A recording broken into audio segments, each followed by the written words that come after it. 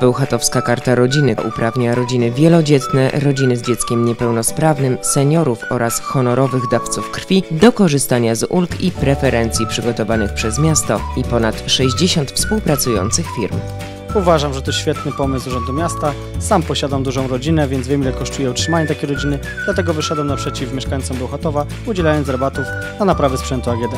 Posiadacze Bełchatowskiej Karty Rodziny mogą także taniej kupić na przykład bilety do kina, wywołać zdjęcia, zjeść pizzę czy pójść do stomatologa. Bardzo często y, ci Państwo, którzy posiadają taką y, kartę, powołują się na nią, pokazują nam ją. Dzięki Bełchatowskiej Karcie Rodziny można sporo zaoszczędzić przy wejściach na miejskie obiekty sportowe, lodowisko, korty tenisowe czy halę letnią. A co powiecie na basen za złotówkę?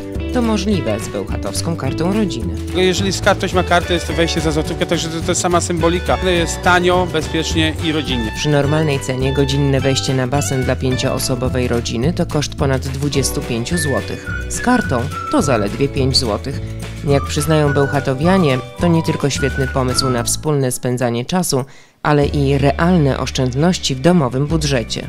Zazwyczaj sobie wykupujemy dwie godziny, to jest 8 zł na taką bandę, to to jest w ogóle niemożliwe nigdzie indziej do, do, do uzyskania. Ulgi i rabaty Bełchatowianom oferuje ponad 60 firm. I wciąż dochodzą kolejne. Jak otrzymać Bełchatowską kartę rodziny? Wystarczy złożyć wniosek w Urzędzie Miasta przy ulicy Kościuszki 1 w budynku B w Zespole do Spraw Pomocy Społecznej i Zdrowia. Osoba, która do nas złoży taki wniosek o wydanie takiej bełchatowskiej karty rodziny, e, otrzymuje ją zazwyczaj w terminie 14 dni od dnia złożenia wniosku.